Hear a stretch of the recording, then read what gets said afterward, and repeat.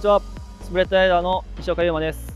今回自分が紹介するのは LT シリーズの LTAF というモデルです。LTAF は LTA をベースとして、えー、フレックスを落としたモデルとなっています。キャンバーのモデルなんですがその中でもローキャンバーというモデルになっておりローキャンバーだからといって弾きができないわけではなく乗り系と弾きが両立してグラトリをできるようになっています。今回の変更点としましては昨年度よりフレックスを全体的に落としより一層グラトンに特化したモデルとなっています。私が乗った印象では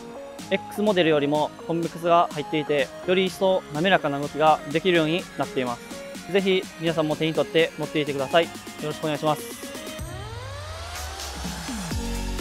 乗ってみてフレックスは多分柔らかめだと思うんですけど乗り系もできてかといって弾き系ができないわけでもなくてとても弾きやすくて良かったです。まあ、飛び系はやっぱりまあ反発が来るんですごいやりやすくて。乗り系も、まあ、思ったよりは硬くなかったんで、まあ、やりやすいかなと思いました。LTB の初期型乗ってましてそれと比べると少しセンターが硬めない印象を受けました。その分スピード出した時の安定性や着地の安定性など向上していて結構乗っていて安心感がある板でした。